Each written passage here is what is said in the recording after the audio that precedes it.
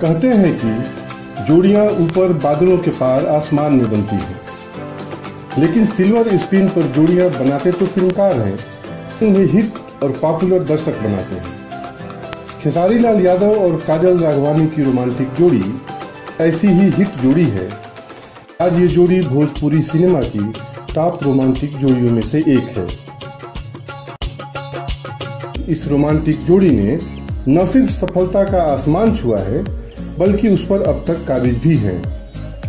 दर्शकों के बीच ये जोड़ी इस कदर पॉपुलर है कि रियल लाइफ की रोमांटिक केमिस्ट्री को रियल लाइफ से जोड़कर इनके बीच रोमांस और अफेयर के कई गासिप समय समय पर मीडिया की सुर्खियाँ बनते रहे हैं।